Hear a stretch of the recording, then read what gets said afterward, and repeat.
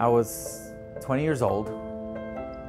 I had um, just had won a car on The Price is Right when I literally like flew off the freeway and I saw my life flash between my eyes where I saw my own funeral and I saw my mom crying on top of me, open casket, and she's like right on top of me, like just like you're gone.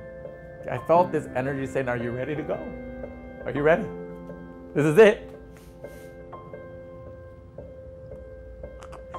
And I remember I was like, Not yet, not yet. With my whole heart, my whole being, my soul, I was like, I'm not ready to go. I got a purpose here. I have a big purpose.